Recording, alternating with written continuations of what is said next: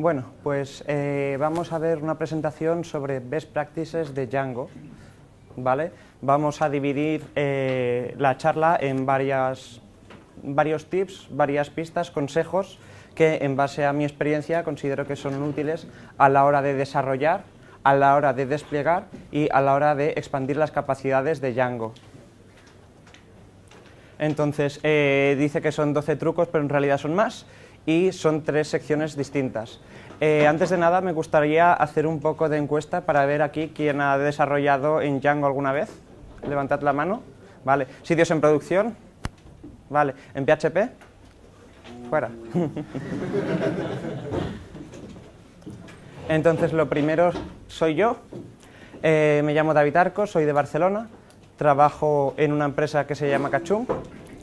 Eh, soy desarrollador de Python y Django desde hace algo más de cinco años, en exclusiva porque me, me enamoró el lenguaje. Entonces me gustan los sistemas distribuidos, desarrollo web, bases de datos, seguridad. Esta es Cachum, es la empresa en la que trabajo, es una startup de Barcelona que se dedica al reconocimiento de imagen y a la realidad aumentada. Si habéis estado en la charla de Computer Vision de antes, eh, bueno, muchas de esas cosas de reconocer eh, patrones, objetos, de hacer tracking, también lo hacemos. Ah, ofrecemos un software as a service con una plataforma en la que envías una imagen desde el móvil mismo, es un post de la imagen, y te devolvemos el objeto que se ha reconocido junto a los metadatos de tu lógica, lo que le hayas puesto. ¿Vale? Es muy fácil de usar, tenemos APIs en Python, SDKs en, en mobile, en todo lo que hace falta. Entonces, eh, vamos a empezar hablando de Python. ¿Por qué Python mola? Bueno, a estas alturas creo que ya todos lo sabéis. Os habrán hablado del CEN y del PEP 20 en varias charlas. Yo quería resumir un poco los puntos que considero más importantes. Que bello es mejor que feo, que simple es mejor que complejo, pero aún así complejo es mejor que complicado. Es muy importante que el código sea legible, y los casos especiales no son tan especiales como para romper las normas. Aún así, no tenemos que ser fanáticos y si hay que romper las normas, se rompen, ¿vale?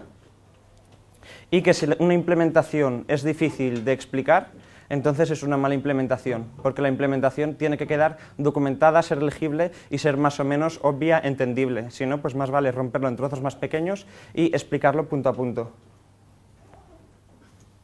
¿Y por qué Django? Bueno, pues la definición de Django, Django es un framework de desarrollo web para perfeccionistas con fechas de entrega que es de desarrollo web, lo sabéis todos. Perfeccionistas es para la gente que es muy detallista, que estás hasta el último detalle, el último píxel, que quieres, quieres tener control de todo lo que pasa en tu plataforma, pero con deadlines. Django está orientado al desarrollo rápido, ágil.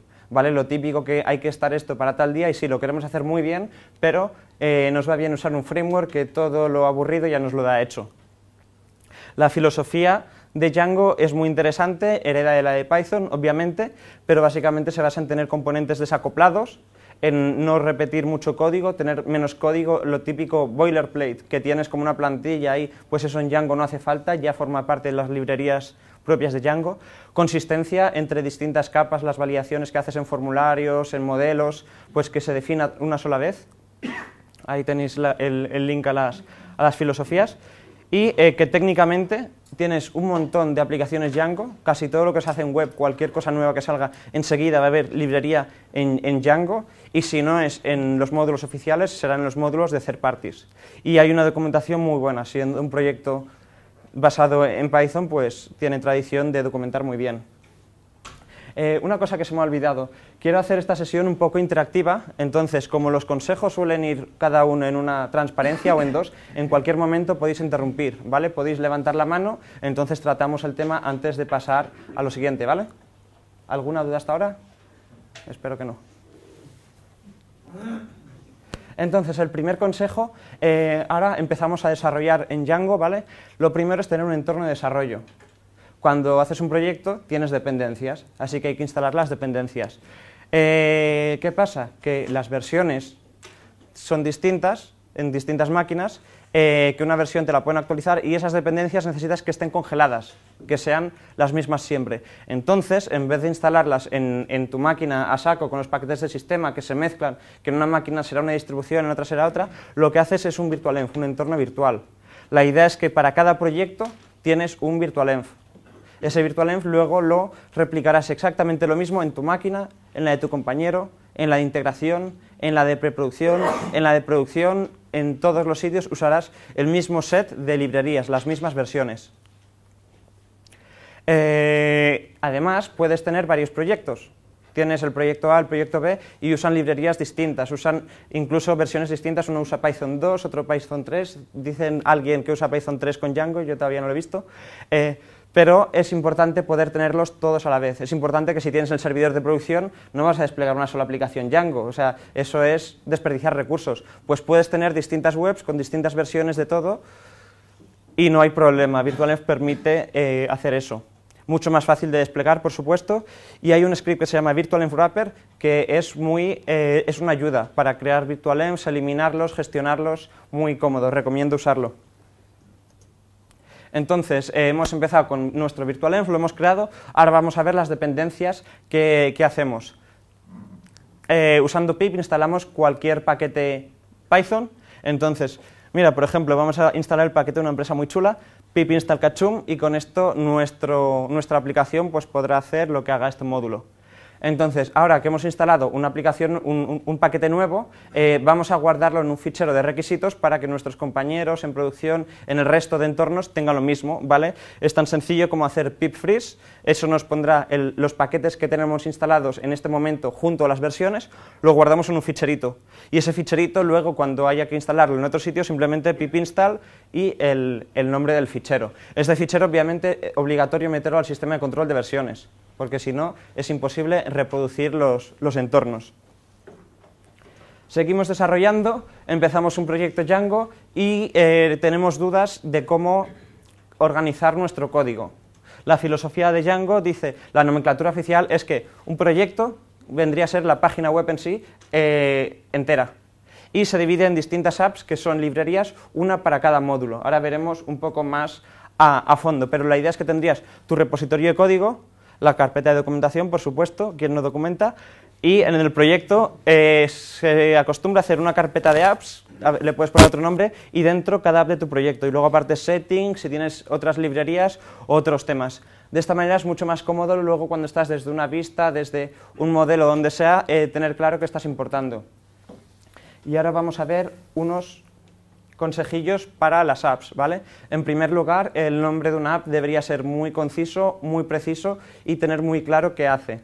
Nombres cortos, obvios, si puede ser una sola palabra. Eh, y es mejor hacer muchas apps pequeñas que una app grande. Si tienes una app que está creciendo porque añades más vistas, más modelos, más funcionalidades, llega un momento que es demasiado grande. Esto lo quieres evitar. ¿Vale? Eh, se suele decir que si lo que hace una app lo explicas en una frase, es que es un concepto sencillo, está bien. Si tienes que usar más de una frase, entonces mejor lo divides en varias apps. Eh, vamos a poner un ejemplo. Pongamos que nuestra página web vende botellas de agua, ¿vale? Pues tendríamos eh, una app que sería eh, la gestión de los objetos de las botellas, tendríamos otra que sería el foro, otra el formulario de soporte, otra la parte de billing, de hacer pagos, otra, no sé, la galería de fotos, yo qué sé, lo que tenga vuestra página, eh, es mejor tenerlo en apps separadas. Esto facilita muchísimo luego el mantenimiento y también reaprovecharlas, porque el módulo del foro, vamos, luego lo reusas en todos los proyectos. Y el contact form ya ni te digo. Eh, no reinventar la rueda, esto es muy importante. En Django Contrib, que vendrían a ser los, no los módulos que están en el core, sino los que eh, tienen la calidad suficiente como para estar en el código de Django, pero no son obligatorios de usar, eh, tiene muchísimos módulos para hacer casi de todo.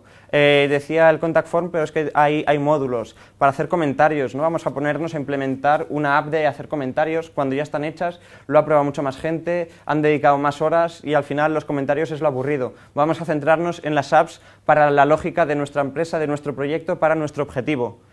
Y si no está ni en Core ni en Contrib, pues siempre tenemos las apps de third party, es donde más apps hay. Todo el mundo hace apps, cada proveedor de un servicio, de un SaaS, no sé, hemos dicho un tema de billing, ¿vale? Pues cada proveedor de billing, los PayPal, los Braintree, todos estos, te dan apps en, en Python o en Django, no hay que reinventar nada. Entonces, ¿qué sería nuestro proyecto sin la configuración? En la configuración suele ser un solo fichero, esa parte no me gusta nada, recomiendo tener muchos ficheros y recomiendo tenerlos guardados. Eh, el primer consejo es que múltiples ficheros, uno para cada entorno, tenemos nuestro entorno de desarrollo local, tenemos preproducción, tenemos integración, tenemos producción, cada uno de estos va a estar separado. ¿Por qué? Porque el acceso a la base de datos de producción y el acceso a la base de datos de integración es distinto, no quieres tenerlo mezclado, no, quieres tener ifs dentro de un solo fichero de settings. Luego, eh, más que por developer, por cada máquina. Hay un, truco muy chulo que en, haces ficheros de local settings, haces una carpetita y tienes un fichero con el nombre del hostname de cada máquina. Por ejemplo, si mi máquina es eh, David Laptop, pues mi código en el settings dice, a ver, el nombre de esta máquina, el hostname, ¿cuál es? David Laptop. Entonces va a buscar al directorio de settings y dice, vale, pues ahora cojo la configuración de esta máquina.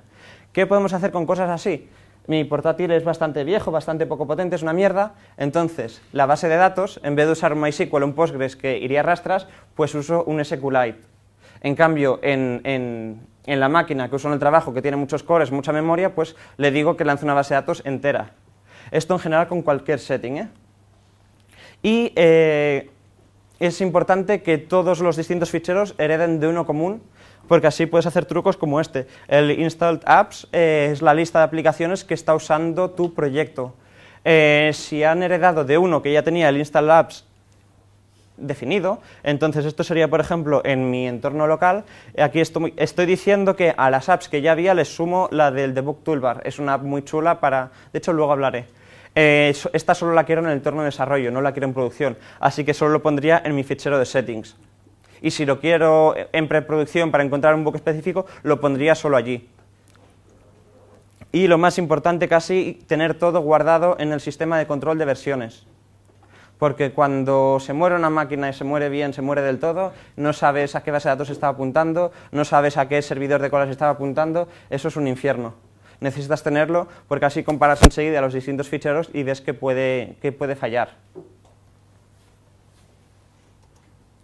Entonces, MTV. Eh, Django lo llaman eh, Framework MTV, ¿vale? Eh, model, Template y View eh, es como el modelo vista controlador, ¿vale? Pero un poco con su propia nomenclatura. Modelos es donde se define la lógica, son las tablas de la base de datos, son las acciones que puede hacer cada uno de nuestros objetos. Las plantillas son, suelen ser HTML, puedes poner cualquier cosa, pero la plantilla es la capa de presentación. Y luego la vista, en realidad sería el controlador, es quien va a la base de datos a coger lo que tenga que coger coge los datos que queramos y se lo pasa a la plantilla. Es un poco lo que hace la lógica. En nuestra aplicación de Django tenemos un fichero con URLs, varios ficheros, uno por cada app, que dice la URL con una expresión regular, qué vista va a llamar y luego ya la vista se encarga de llamar al modelo que toque y poner la plantilla que queramos. Entonces, ¿por qué digo esto? Porque eh, es importante tener modelos gordos y vistas finas, ¿vale? De cara a que el código sea más mantenible, más fácil de usar y que nos den menos dolores de cabeza. Eh, toda la lógica específica de nuestra aplicación, bueno, toda la lógica en general debería ir dentro de los modelos y formularios, signals, que eso está más relacionado con el modelo. ¿Por qué? Porque si tú tienes una vista y estás llamando, por ejemplo, a crear un objeto, a borrar un objeto con unas precondiciones, con unas validaciones, si luego desde otra vista tienes que hacer lo mismo, ¿qué vas a hacer? ¿Copiar y pegar? ¿O vas a volver a hacer código? ¿O te vas a olvidar y lo vas a hacer mal? En cambio, si la lógica específica de todo lo que tienes que hacer cuando se crea un objeto lo has definido dentro del models, entonces da igual desde qué vista lo estés llamando. Da igual si no lo llamas desde una vista y lo estás llamando desde un management command, te da lo mismo. Lo llamas desde la consola, lo mismo. Entonces, a veces es importante o sobreescribir los métodos de save, create, delete, o si no, ir enganchando signals para la lógica, pero que siempre todo lo que es lo más complicado, la lógica, esté en los ficheros de, models. Las vistas deberían ser lo más ligero posible, ¿vale? Simplemente coger unos datos, pasarlos y, ya está. Porque si metes mucha lógica en las vistas, te acaba mordiendo. A la que tienes una llamada de una API y te has olvidado de hacer lo que hiciste en la vista, ya la has cagado. Eh, aquí esto es un buen ejemplo, bueno, era un buen, era un buen ejemplo porque ahora con las últimas, con la versión 1.6 de Django lo han liado un poco, pero tú miras el, el modelo de user del módulo auth de, Django y básicamente te definen un user y luego te definen, aparte de los campos, todas las acciones que puedes hacer con ese user. Y el ejemplo clarísimo es eh, resetear un password. Si la función de resetear un password la tienes definida en una vista que se llama resetear password, eso no es reaprovechable. En cambio, el modelo user tiene una función que es resetear password y eso lo puedes llamar desde cualquier lado, no tienes por qué hacerlo desde una vista, o sea, desde... Sí, desde una vista, lo puedes hacer desde cualquier sitio. Entonces, para que quede claro, recomiendo mirarlo. Así que tenemos, por una parte, los modelos gordos, tenemos las vistas delgadas y tenemos Vale, esto es lo que acabo de explicar, es mucho más mantenible, es más fácil de testear, ya que si tienes la lógica en los modelos, eh, las propias llamadas que haces a ese modelo, resetear password, es mucho más fácil testear. Si lo tienes en una vista ya estás complicando. Puedes reusar la lógica y el código se vuelve mucho más claro y más autodocumentado. Si estás definiendo tienes en nuestra aplicación, en nuestra página que hemos dicho que vamos a, vender botellas de agua por internet, si cada llamada al modelo de la botella, yo qué sé, pedir más botellas a fábricas, eh, hacer un thumbnail nuevo de la botella, todo esto lo tienes en el fichero de models, es mucho más fácil testearlo y se entiende mejor qué es la botella en sí cuando ves todas las funciones lo que hacen. Así que modelos gordos, vistas delgadas y plantillas estúpidas. Eh, la plantilla es la capa de presentación y si algo está prohibido en este mundo es meter lógica en la capa de presentación. Eso que hace la gente de PHP de meter sentencias SQL en... No, prohibido. Eh, las plantillas deberían tener el mínimo código de lógica posible, ¿vale? Django tiene mecanismos para hacer filtros, para hacer template tags, pero definidos aparte, entonces esos los puedes llamar, pero la lógica siempre fuera de nada que se llame .html. Eh, entonces, hay gente que se queja de esto, porque dicen que, eh, vale, sí, yo soy un hacker pro y yo quiero meter toda la lógica que me dé la gana en la plantilla, Django no me deja, ¿qué, qué hago? Las plantillas de Django ya diseñaron el sistema así para que no puedas meter código Python a saco para que tengas que hacerlo más o menos bien, ¿vale? La lógica es que en la empresa pues tendrás eh, perfiles especializados y que quien diseñe las plantillas no tiene por qué ser un programador, puede ser un diseñador. Aquí está diciendo que los diseñadores no saben programar, pero bueno, eh, la idea es que va separado. Si aún así quieres hacerlo, bueno, puedes usar Jinja o puedes usar el sistema de plantillas que quieras para eh, hacer las plantillas con toda la lógica que quieras, todas las worst practices que te dé la gana. Eso sí, se recomienda que si en una, lo típico es que tienes una vista súper específica con una plantilla súper específica y ahí tienes que hacer la guarrada padre. Se recomienda que solo uses Jinja o lo que tengas que usar en esa, ¿vale? El resto, déjalo porque así el resto van a ser más fáciles de mantener. Si el 90% de las plantillas son mantenibles y el 10% son más peligrosas, pues mejor. Y lo que también se suele criticar muy a menudo es que Django genera un HTML muy feo. Es verdad, eh, te mete muchos intros, espacios en blanco. ¿Por qué? Porque el sistema de plantillas está pensado para que lo lean personas. Luego, el HTML que genera lo va a leer una máquina. ¿Vale? Lo que quieres es que las, plantillas en sí sean mantenibles. Las, las máquinas no, no, les importa ver HTML bonito y feo mientras valide. De hecho, no hace falta ni que valide. ¿Vale? Pero las personas sí, y hay que pensar en, en quien va después nuestra plantilla que se entere de algo. ¿Y de cara al tiempo de carga? ¿Perdón? ¿De cara al tiempo de carga? No, no debería afectar. Cuanto más en HTML, a lo mejor en 100 mililitros no, pero en 10 millones sí. Vale, en ese caso le añadirías un middleware que le dirías que la plantilla que sale, pues que te la comprima, que te la ponga con gzip, que elimine los espacios en blanco, que los ofusque, lo que te dé la gana. O sea, si es un requisito, lo haces. Pero la idea es que a la hora de programar tú veas algo, algo bonito. ¿Cómo? ¿Alguna librería para ello?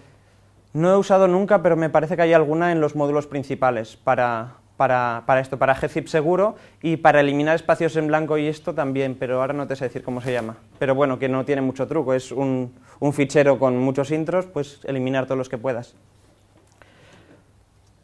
Entonces, hemos visto la parte de desarrollo, cómo empezamos a desarrollar, cómo vamos haciendo nuestro proyectillo. Ahora vamos a ver cómo, desplegar, ¿vale? Estos son recomendaciones, si alguno tiene una configuración distinta, perfecto. Yo digo lo que a mí me ha funcionado mejor, me ha dado menos problemas y sobre todo me ha tardado menos tiempo. Como servidor web, ¿alguien usa Apache? Lo siento por vosotros. Eh, Apache es un coñazo con, con Python, supongo que lo habréis lo habréis visto. Eh, desplegar un, un Nginx es, es, muy sencillo. Nginx está mucho más espe especializado de Apache. No iba a hablar mal de Apache, pero ya que estamos, Apache, como intenta hacer de todo, claro, hace de todo, pero ya no lo hace bien. Nginx hace menos cosas y las hace, más, las hace mejor. Es más fácil de configurar porque al no hacer tantas cosas no tienes que configurar tanto y suele dar mucho mejor rendimiento. Entonces, lo que suelen desplegar los proyectos típicos de Django, y hablo tipo Instagram, Pinterest, los de Mozilla, todos estos proyectos suelen usar el, stack este, ¿vale? Nginx con Unicorn, a la que buscas en Google salen las configuraciones típicas, no te tienes que, que pelear mucho. Eh, supervisor está muy bien, Supervisor es el del pulpo. Eh, es, es, el del pulpo, qué bueno. Eh, es un sistema que te mira los PIDs de cada proceso y si un PID se ha muerto, lo vuelve a lanzar. Tú lo configuras y le dices, oye, quiero tener eh, cuatro unicorns con Django corriendo, quiero tener este otro demonio, quiero tener dos threads de Celery, quiero tener... ¿Sí? Eh, no, no, sé, no lo sé, no lo he usado. Yo he usado esto porque es lo más sencillo, ¿vale? Eh, el, otro seguro que también lo... Me suena que también lo hace. Es simplemente yo es que soy muy vago, entonces intento hacer lo que hace todo el mundo, porque así si hay algún problema, pues alguien ya se lo ha encontrado y ya lo ha solucionado. Como digo, se pueden hacer otras configuraciones, yo sugiero aquí la que, la que me ha funcionado, que desde que lo desplegué no ha habido que tocar mucho. Entonces, eh, es muy útil porque lo puedes configurar para que si se te ha muerto un proceso, yo qué sé, eh, ha habido un error súper crítico que no te lo ha capturado nada, aparte de reiniciarlo le dices, oye, envíame un email y sabes que te vas a recibir un email diciendo este proceso ha muerto a tal hora y ya te, te apañas para encontrar qué ha pasado. Y bueno, básicamente te, se asegura que lo vas a mantener vivo. De servidor estático, aquí cada uno lo que quiera, en Ginx ya va bien, y si tienes mucho más tráfico está claro que un CDN, o si te lo quieres montar con un Varnish o con algo más ligero, lo que a tu gusto. Yo los ficheros que son tipo CDN, pues los suelo subir a una CDN y ya está, no me, no me no pierdo mucho tiempo, ¿no? Como en Jeans ya lo tenemos desplegado, pues así reaprovechamos una tecnología. Eh, esto también es, es, un buen truco, intentar no desplegar todos los servicios que son guays del momento, especializados para cada cosa. Cada servicio que te ahorras son menos problemas. Si puedes usar en Ginks para estáticos también, pues eso que ya tienes hecho. Eh, ahora vamos a ver unas cuantas herramientas de, de third parties que también te facilitan mucho la vida. La primera es Fabric, Fabric es una herramienta que básicamente hace SSH a máquinas, ejecuta comandos, sube ficheros, copia configuraciones, hace todo el tipo de cosas que harías a mano yendo máquina por máquina, actualizando configuraciones y tal. Eh, se suele usar para automatizar despliegues, para hacer migraciones, ejecutar los management commands de Django, para monitorizar según qué temas, ¿vale? La idea es que tienes un script, ejecutas fab y el nombre del script y los parámetros que quieras y te lo ejecuta. Eh, es, muy, es muy útil porque te ahorras, bueno, a la que tienes cinco máquinas y hay que ir a cada máquina esto, prohibido, necesitas automatizar. Entonces, por ejemplo, no sé, eh, sería mejor con, con herramientas tipo, tipo Chef, por ejemplo, o algo que te configure las máquinas y, todo eso. Pero yo de momento lo que me he encontrado para el número de máquinas que, que, uso y el tipo de cosas que tengo que hacer, Fabric va muy bien. La gran ventaja es que es código Python, entonces se integra muy fácilmente, ya que estás usando Python y Django, pues es, es un módulo más. ¿Vale? Y aquí hay una palabra que debería eh, llamar la atención, migraciones. Vas a hacer una migración desde una llamada, desde un SSH, uff, qué problemón pues vamos a ver una herramienta que se llama South, eh, que es una herramienta para hacer migraciones de base de datos.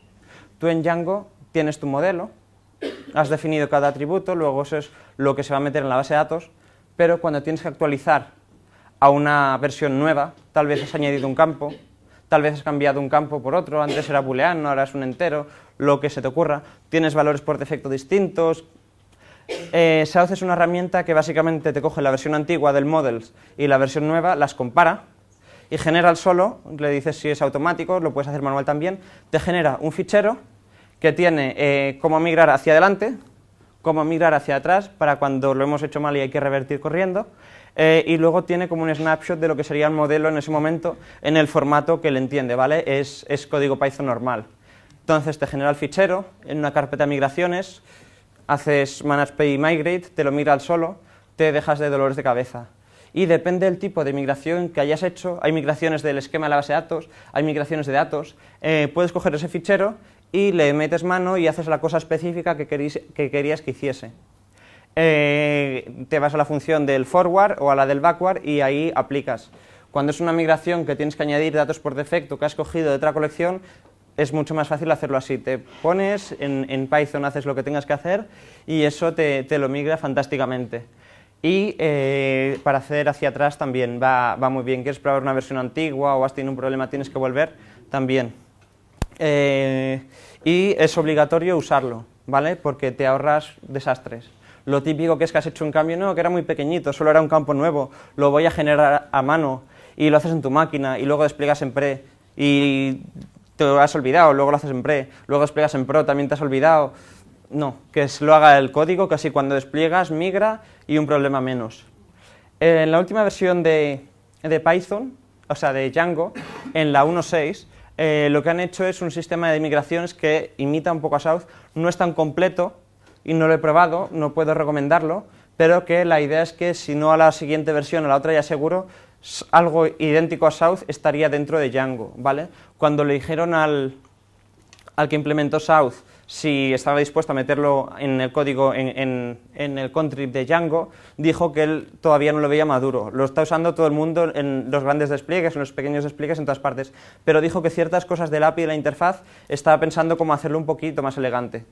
Pero vamos, que es una herramienta probadísima y que es que si no la usas te vas a acordar de mí. Sí.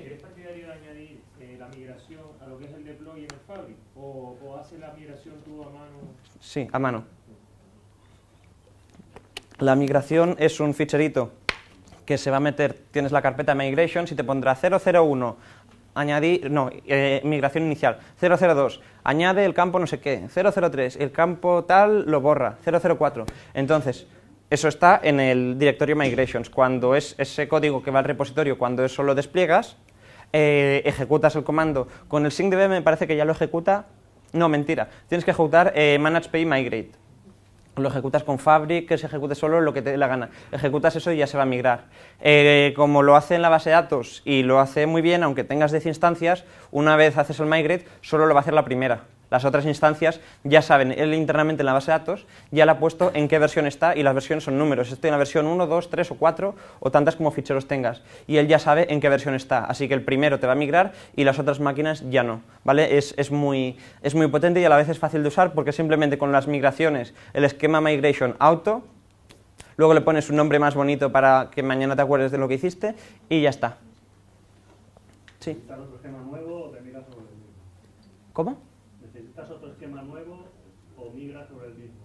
Eh, a ver, la idea es que tú tienes tu models, ¿vale? Eso es lo que hay en la última versión. Ahora haces un cambio, eh, borras una línea del, del, objeto y entonces ejecutas el script. El script, como en la última migración tenía el estado de la base de datos, el estado final, compara lo que tienes en el models con lo que tenía en la última migración y dice, a ver, este campo falta o este, cambio ha cambiado, este campo ha cambiado de, tipo, ahora hay que hacerlo un text, antes era un char, lo que tenga que hacer. Entonces, en la nueva migración te pones solo esa y va a tener el snapshot de lo que tienes ahora en el models. ¿Vale? Puedes hacer varias, si por lógica te es más sencillo, pues borra un campo, luego lo añado, puedes organizártelo como quieras. ¿He respondido a la pregunta? Entonces, esta herramienta es muy chula también. Celery es un sistema de tasks asíncronas. Eh, tiene, él está escuchando una cola, por esa cola tú le envías trabajos y cuando los recibe los va haciendo. Entonces, ¿para qué sirve esto? Tenemos otra vez nuestra super empresa, nuestra startup que vende las botellas de agua y eh, nuestros clientes han comprado muchas botellas de agua original, y tenemos que emitir facturas en un PDF, meterlas por zip, enviarlas por email y por fax, yo qué sé.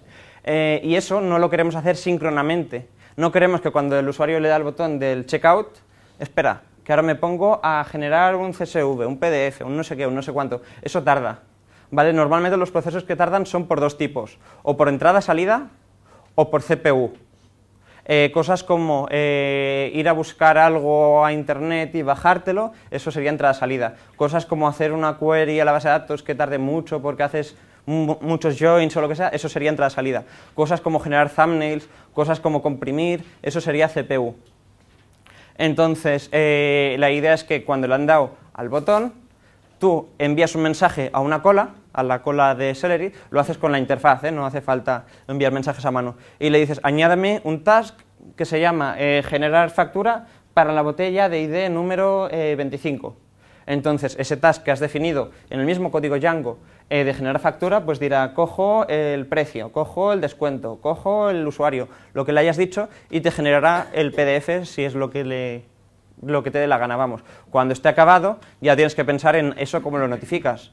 Igual lo metes en la base de datos, guardas el objeto, creas el, yo que sé, guardas en S3 el, fichero, creas un objeto en la base de datos con los datos de esta factura y se lo envías al usuario por email, por ejemplo, ¿vale? Estas cosas que pueden tardar, la idea es que hay que hacerlo asíncrono. Esto te ayuda a escalar. Si no haces esto, no escalas.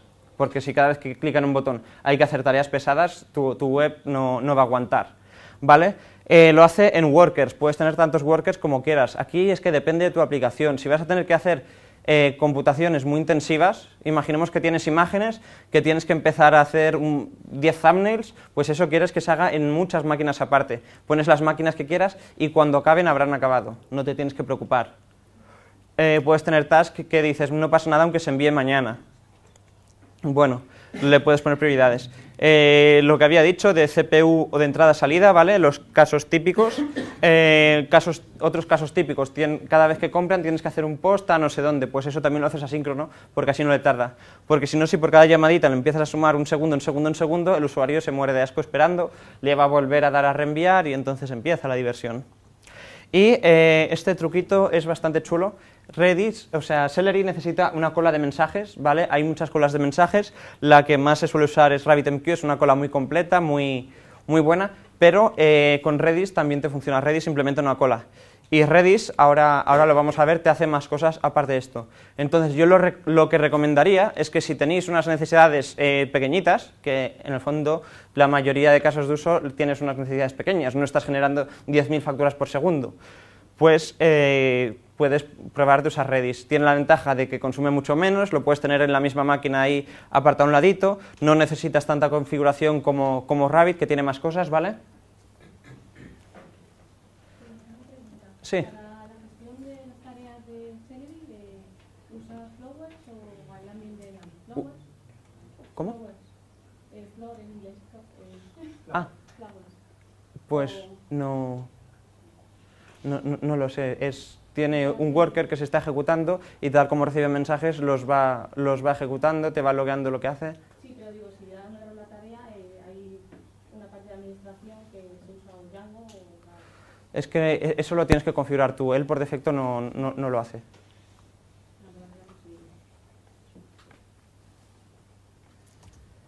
Pues vamos a ver Redis. Redis eh, viene a ser una base de datos de, de estructuras de datos. A veces lo llaman NoSQL, a veces lo llaman Memcache. Redis hace muchas cosas. Me encanta Redis. Eh, ¿al- ¿Quién ha usado Redis? Que levante la mano, por favor. Vale, pues que os voy a explicar. Eh, Redis tiene muchas ventajas de cara a cuando estás desarrollando la típica aplicación web, porque tienes muchos casos de uso que sin Redis serían complicados, que simplemente por tener el servidor ahí le puedes ir mandando que haga, que haga cosillas, ¿vale? Lo que son datos eh, efímeros, las sesiones.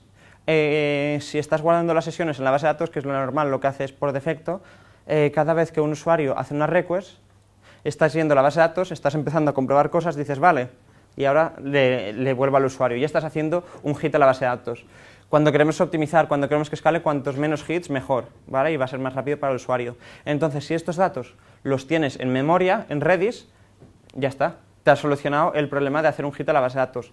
Eh, así que todo lo que sean datos efímeros los puedes tener en, Redis en, memoria, ¿vale? Aparte, Redis te deja guardar a disco, ¿vale? Pero es que si los tienes para que vayan caducando, si se caduca una sesión no pasa nada. Simplemente el usuario va a tener que volver a hacer login. Lo importante es que si en una sesión típica de navegación hace, yo que sé, 200 queries, pues que no hagas 200 hits a la base de datos, que no hacen falta.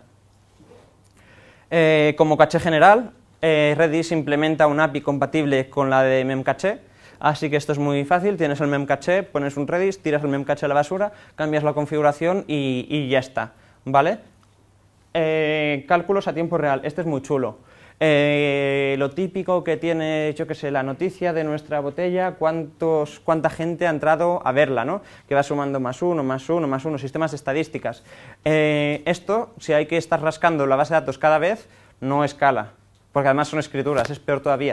En cambio, lo coges y lo guardas en una estructura que tienes ahí guardadita en Redis, dices la botella de ID 25 lo han visto eh, 1250 personas. Otro, otro. Eso está en memoria. Ahí no tienes el, no tienes que estar escribiendo a disco en la base de datos cada vez, mucho más rápido. Para monitorizar también se usa muchísimo. Para monitorizar es fantástico. Eh, si el estado de tu plataforma, en vez de tener que ir a los componentes y preguntarle, le- cada componente te lo ha guardado en Redis, y simplemente lo que haces desde tu vista es pedirle al Redis, oye, eh, esta sección, ¿cuánta gente ha accedido? O yo qué sé, ¿cuántos... eh, un, ejemplo con el agua. ¿Cuántos camiones tenemos repartiendo? Bueno, los camiones no son ordenadores, pero ¿cuántos componentes de tal tipo tenemos sirviendo esto? Esto va muy bien para monitorizar. Todo lo que sea ahorrar de la base de datos va de coña. Hacer throttling. Esto sería la típica API que mucha gente le está dando caña, está pillando datos. eh, te dicen, vale, hay que hacer un throttling que solo pueden hacer 10 peticiones por segundo, o 100 por minuto, o 1000 a la hora ya están fastidiado, porque cuando llega cada petición tienes que escribir en la base de datos, actualizar eh, el número. Estamos hablando de 10 por segundo, 10 escrituras por segundo en la base de datos, o sea, horroroso. Lo quieres hacer en memoria. Y sí, todo esto se puede hacer de otras maneras, pero es que con Redis te lo hace el solo. No tienes ese, ese handicap de tener que ir a disco. Le vas añadiendo, le vas diciendo que incremente, eh, le puedes decir que expire para el throttling. eh, lo típico que es que se caduque el ban al cabo de unas horas o de unos minutos o segundos, pues automáticamente tú le dices que, que esa clave expira en un minuto, entonces tienes al usuario ese castigado durante un minuto y ya está. No te tienes que preocupar de estar accediendo a la base de datos. ¿Vale? Eh, los mensajes. Los mensajes también son muy interesantes porque hoy en día se usan cada vez más para aplicaciones distribuidas, para comunicarte de un componente a otro, o bien para el Celery, como hemos visto, mandas una task, en el fondo es un mensaje. Eh, mensajes ofrece dos, dos modos de enviar mensajes. El primero son los canales, que vendría a ser como el típico canal de IRC, que tú te conectas y todo lo que se envía lo recibes. Y todo lo que envías lo reciben todos los demás, ¿vale? Eso se llama PubSub, eh, Publish Subscribe, y eh, es un- se usa muchísimo en, en muchos tipos de, de las APIs de Twitter, por ejemplo, para que te lo vayan enviando todo a tiempo real. Pues esto con canales tienes una implementación súper sen- sencilla, súper ligera. Listas, las listas son, bueno, son listas normales que vas metiendo datos, vas sacando datos, ¿vale? Push y pop, lo de toda la vida, y tiene una cosa muy chula que es el, el pop, BL de blocking. Entonces, tú le estás diciendo, accedo a esta lista, hazme un pop, pero si no hay nada, me bloqueas la conexión y en cuanto hay algo me avisa.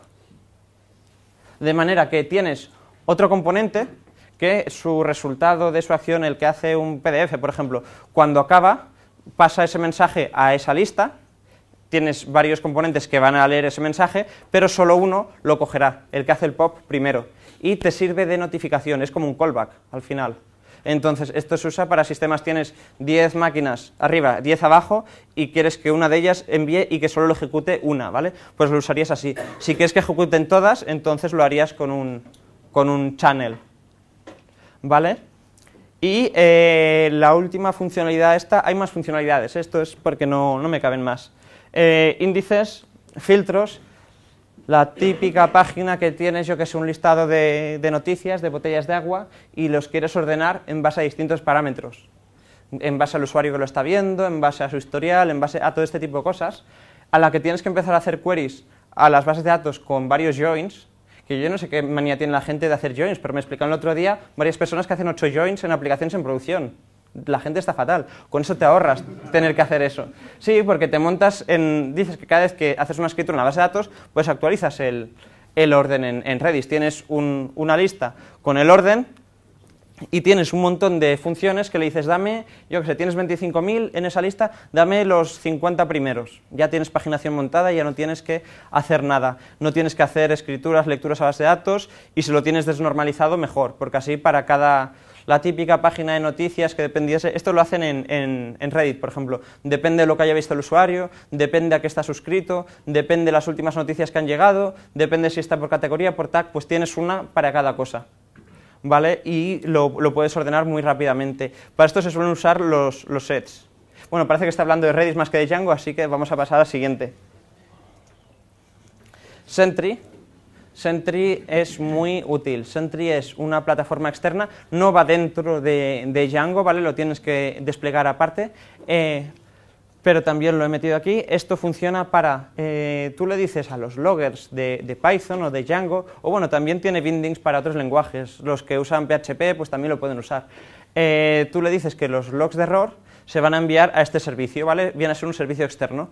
Entonces, cuando hay un error, se captura la excepción, le pide los datos que hay en el traceback, coge datos que estén en, la, en request de HTTP, por ejemplo, el usuario que lo ha enviado, si es un get, si es un post, las cookies, y se lo envía a el servidor Sentry. Ese servidor lo guarda, agrega los datos y nos los va a mostrar de una forma visual, así todo bonito, con el traceback, que haces clic y se despliega, puedes ver el contenido de cada variable. Esto es súper útil a la hora de ver dónde lo has hecho mal y dónde está el, el bug, ¿vale? Eh, como te agrega, puedes ver, por ejemplo, a ver, tengo todos estos bugs, eh, ¿cuál ha afectado a más usuarios? Este ha afectado a uno, este ha afectado a 10. Iré primero a ese bug. O puedes decir, a ver, el, ¿qué navegador están usando? Porque eso te viene en la petición. Pues esto afecta solo a los que usan Chrome. Hostia, pues ya es una pista. Eh, entonces, es muy, muy fácil de configurar porque como usa el logger, pones un setting y, añades una cosa al logger y ya está te facilita mucho cuando ha habido el problema encontrar qué ha pasado y desplegarlo es muy sencillo, es un proyecto eh, Django que lo, te lo bajas y lo despliegas, o si no, lo ofrecen como software as a service, los mismos que han hecho Sentry, en la página getsentry.com eh, te lo ofrecen, pues lo pagas y, les puedes ir enviando datos. He usado las dos opciones y la verdad las dos van bien, ¿vale? Esto es muy, es muy útil, porque si estás logueando los errores en los ficheros de log, que luego tienes que ir a todas las máquinas, a agregarlos y eso te vuelves loco. El traceback que tienes en el fichero log, con suerte no es una sola línea, es horroroso. Cuando lo tienes todo agregadito por fechas, saber cuándo es la última vez que ha pasado, lo marcas como resuelto, te lo integras con tu sistema de tickets y le dices, a partir de esto, créame un ticket en GitHub o en Jira o en lo que uses. Esto va muy bien. Y eh, hemos tenido errores, vamos a debugar, vamos a ver dónde estaba. Eh, aquí eh, recomiendo tres pequeñas herramientas. IPython. IPython, ¿conocéis lo que es IPython? Es como el, el, intérprete Python normal, pero con una I delante, y esa I le da superpoderes, te da el autocompletado, te da, puedes ver el docstring muy fácilmente, eh, te da un montón de fitos, puedes ejecutar comandos de shell, cd para aquí, ls, puedes ver lo que hay, y básicamente es la shell de Python on steroids, ¿vale?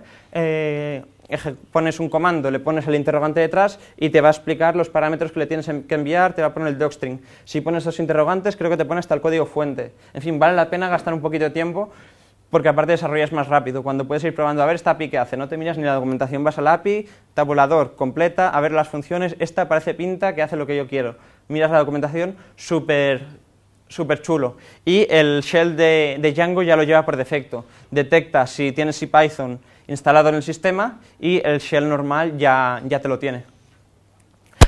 La siguiente herramienta es IPDB, que también es como el PDB normal, pero con una I delante, que también le da superpoderes, te lo hace más bonito, con colorines, con autocompletado, y aquí lo que hace el 90% de la gente es eh, tener esto en, en una macro que le das a un botón y sale, con esto tú has tenido un problema en tu código, lo estás ejecutando en local, no acabas de entender qué pasa, eh, importas IPDB obviamente y haces un set trace, entonces eh, tal como lo está ejecutando, cuando lo ejecutes va a parar justo ahí.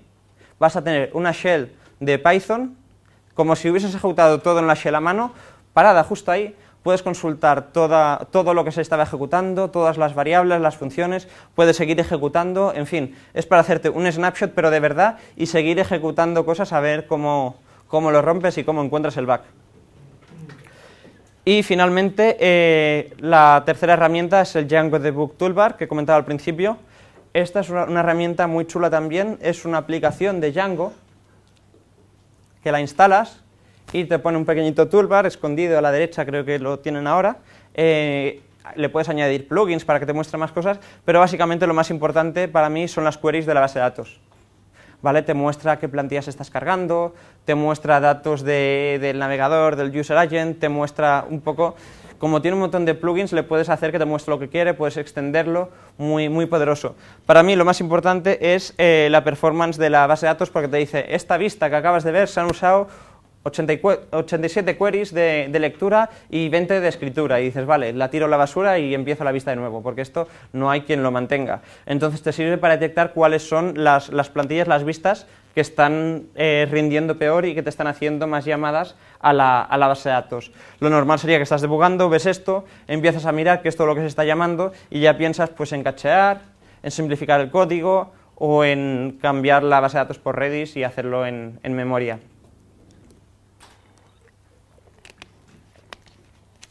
Te sirve también para la típica vista que está heredando una plantilla, que hereda de otra, que incluye otra y tal y cual, y al final no sabes dónde, dónde está llamando, qué fichero está usando, pues también te pone todo el, histórico. Muy, muy práctico.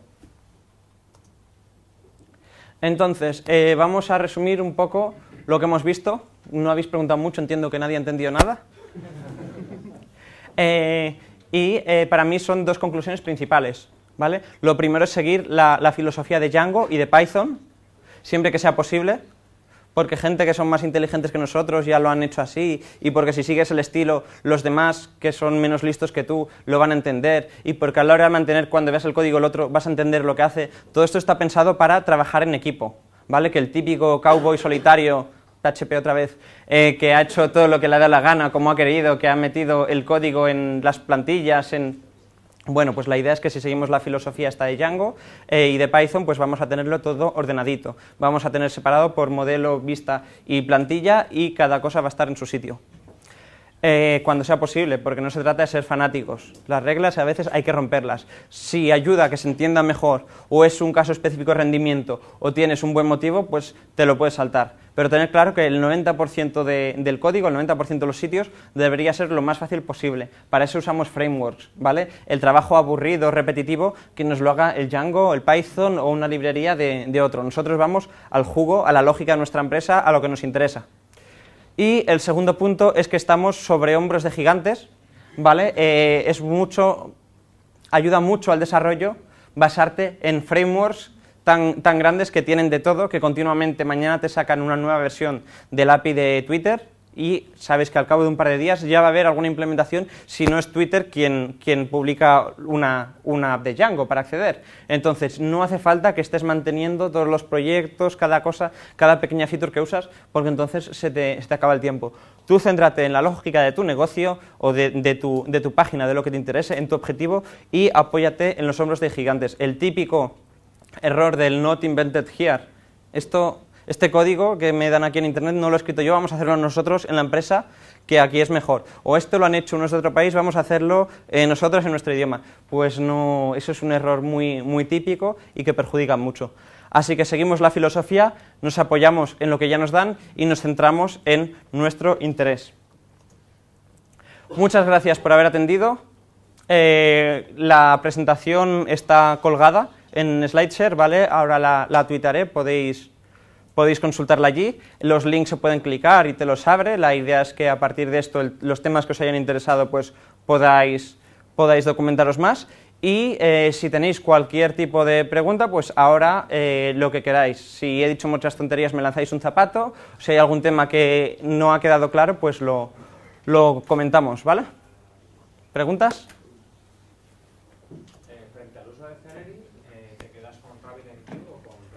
A ver, eh, yo ahora mismo para, para cualquier proyecto pequeño o mediano con Redis te va de sobra. Pero si tienes un requisito de, eh, por ejemplo, eh, tienes una aplicación médica, que los datos son críticos, que no se puede perder nada, hombre, a ver, Redis no es perfecto. RabbitMQ te garantiza que si el mensaje se ha enviado, se va a recibir. Redis no, si está en memoria y justo en ese momento cae un rayo, la máquina se churrusca y pierdes los datos, pero es que la mayoría de casos hacer un thumbnail que falla, pues ya se volverá a generar. Que ha fallado un, envío de un email, pues si es que con los módulos que tienes hoy en día para enviar emails ya te dirá, este email no se ha enviado y a, la siguiente vez que está el Chrome preparado ya lo volverá a intentar. Pues para eso de rendimiento, a ver, es enviar un mensaje, no, no afecta mucho, pero te vas a ahorrar tener que configurar un Rabbit o el sistema de colas que quieras. Cuando llegue el momento de escalar esa parte, eh, la idea es que tú tienes una arquitectura distribuida que, tienes que eh, tiene que ser escalable, la idea es que te centres primero en el cuello de botella. Cuando el cuello de botella de tu aplicación sea eh, el sistema de colas, o sea que tengas, yo que sé, más de 50.000 mensajes por segundo que acepta Redis así sin despeinarse, entonces sí, entonces te planteas usar otro. no, yo me preocuparía más de tener masters, slaves y de, configurar Redis bien que no de esto, pero claro, depende de la aplicación. Si es algo crítico, si es algo de seguridad, si es algo confidencial, pues oye, sí, usa una, un sistema de colas eh, decente, pero que en cualquier momento puedes tener uno y otro, cambiarlo y ya está. Es solo el, el canal por el que se envían los mensajes, ¿vale? ¿Más preguntas? Eh, ¿Qué opinas del proyecto Django actualmente? Es decir, ¿ves que está suficientemente activo? Hay gente que dice que, que bueno, no hay demasiadas aportaciones a los cambios. Luego también, eh, a nivel de cambios de versiones, se modifican muchas cosas y gente que tiene que reescribir demasiado código para actualizarse a la última versión. Era un poco por ver tu opinión sobre eso. Sí, eh, tienes razón, tienes razón. Eh, yo empecé con Django allá en la prehistoria, en la 096, que estuvo como dos o tres años congelada, hasta que nos salieron los de Ruby on Rails, que hicieron algo bueno en su vida y se pusieron a trolear a los de Django y dijeron, jaja, no tenéis versión 1.0. Entonces Django se puso las pilas y dijeron, pues ahora sí. Y a partir de ahí empezaron a trabajar un poco más seriamente a decir ya estamos con la versión estable y vamos a sacar releases. No estoy de acuerdo en que ahora haya menos aportaciones, hay más. Tal vez no hay tanto review, pero eh, tienes muchísimos cambios en cada versión. A nivel de bases de datos están mejorando muchísimas cosas y muchísimas features. También hay que decir, cuando con la versión 1.0, 1.1, 1.2, las cosas que te permitía Django no eran tantas, ¿vale? Era bastante sencillo. En las últimas versiones están metiendo tantas cosas que hoy en día la curva de aprendizaje de Django es muy alta. Para alguien que acaba de llegar, hostia, yo ahora lo veo, me miro la documentación y digo, si esto lo llego a ver cuando empecé, es que cuesta. Entonces, eh, hoy en día igual te vale la pena, si el proyecto es pequeñito y no vas a usar todas las pilas que te lleva Django, pues oye, no necesitas los hombros de los gigantes. Te coges un, Hay muchos frameworks de desarrollo web en Python, hay casi tantos como desarrolladores Python, entonces te coges eh, cualquiera de los otros, ¿vale? Hay, había una coña sobre los microframeworks, hicieron en un April's Fool, el Día de los Inocentes de los americanos, que se inventaron un framework nuevo, era una parodia, pero aún así la gente dijo que sí, lo acabaron haciendo. Es una especie de, coña interna. Entonces, yo no considero que cada vez haya menos, menos contribuciones, al revés, cada vez hay más. Eh, considero que cada vez es más difícil, entonces se van a tener que plantear que, sí, claro, lo hace todo, pero no sé, es tomar una decisión. Si quieres hacer una página sencillita, que es una API, que coge un dato, que lo guarda, que no sé qué, no uses Django. Pero la que tengas que ponerte a hacer cosas web típicas de verdad, cosas, yo que sé, eh, comentarios, pues te vas a poner a implementarte un sistema de comentarios para que los spammers se te coman vivo. No, hombre, no, coges el de Django que te lo hace. ¿Quieres implementar, yo que sé? Es que aunque no sea Django y sea un sistema de plantillas, no te vas a implementar tú el tuyo, pues vas cogiendo. Y en Django lo que no te gusta lo cambias. ¿No te gusta el ORM? Mucha gente no le gusta. Pues te lo montas con SQL Alchemy y ya está. El componente que no te gusta lo, tiras y coges otro. Yo pienso que depende de la funcionalidad que necesite tu web. Siempre es muy fácil hacer un prototipo en otro lenguaje, pero a la hora de la verdad, o sea, simplemente por los temas de seguridad, los ataques CSRF, todo lo que han sacado últimamente, apoyarte en un framework que lo soluciona, y ojo, que los microframeworks también, algunos también lo solucionan, ¿eh? no estoy criticando, pero vale la pena mirar lo que necesitas y qué tipo de framework quieres, quieres usar. Espero haber respondido bien. ¿Más preguntas?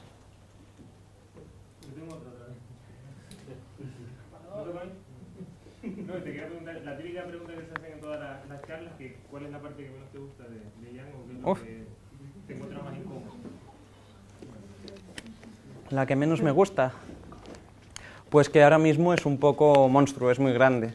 O sea, está todo muy bien organizado, ¿vale? Tú tienes una necesidad, tú quieres, yo qué sé, poner feeds RSS en tu página. Sabes que hay un módulo oficial que lo hace. Quieres hacer paginación, coges el módulo oficial que está en Contrib. Quieres hacer no sé qué, todo lo hace. Pero claro, eh, es que son muchas cosas.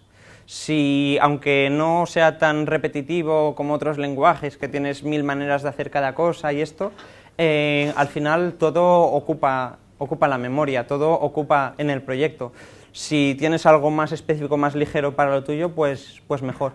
Eh, y el tema de la curva aprendizaje, que hoy en día se está complicando. Entonces, los que no sepáis Django, aprendedlo en cuanto antes, que se va a complicar más. No sé, no sé. Cuando tienes una necesidad específica que Django no cumple, dices, vale, voy a cambiar el sistema de plantillas por Jinja. No tengo una web, tengo una API. El sistema, el ORM no lo quiero, quiero el SQL, el SQL Alchemy. O no quiero base de datos relacional, quiero una NoSQL. Entonces dices, hostia, ¿qué vas a aprovechar de Django? ¿Las URLs y las vistas? Pues no, oye, URLs y vistas es la parte más fácil, por Dios. Entonces, en ese caso, cógete otro. Pienso que depende mucho de la necesidad que tengas. Para la mayoría de casos, con esto ya tiras. ¿Más preguntas? ¿Aconsejarías el ORM de Django para sistemas medianos o incluso grandes? Sí, el ORM de Django mucha gente lo critica, pero no es, no es tan malo como En dicen. las charlas que hemos estado dando estos dos días, todo el mundo decía que era muy lento. Lo, que- lo sé, lo sé. No, no, no es que sea lento, al final lo que es lento es el acceso a la base de datos.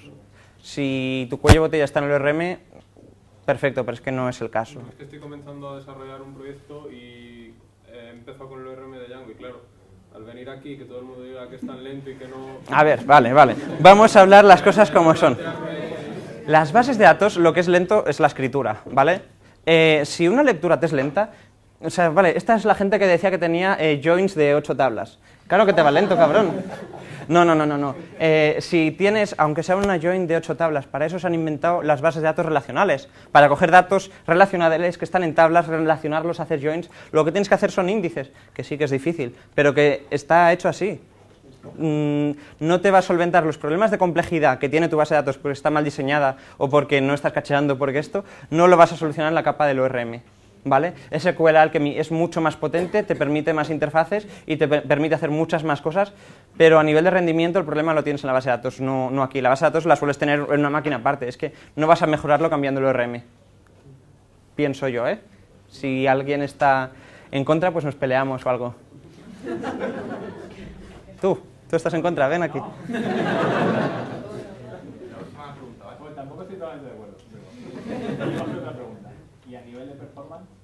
A nivel de performance, ¿qué? A nivel de performance lo que tienes que optimizar es el cuello botella. El cuello botella no va a estar aquí. No, pero por ejemplo has dicho que está creciendo mucho la memoria que ocupa porque son 20.000 módulos, no sé qué. ¿Cómo lo ves tú a nivel de pero es que- en una aplicación grande? Es- estamos hablando de poca memoria. A no ser que quieras hacer una aplicación para correrla en la Raspberry Pi y que son cuatro llamaditas, pero entonces no uses esto, por Dios. Quieres una API súper sencilla, no, no vas a... no- claro, o sea, es otro caso de uso distinto. No tiene una mala performance, pero claro, es un poco como, no sé, hace tantas cosas que tienes que tenerlo todo previsto. Eh, ¿Cómo vamos de tiempo? ¿Ya? Pues muchas gracias por haber atendido.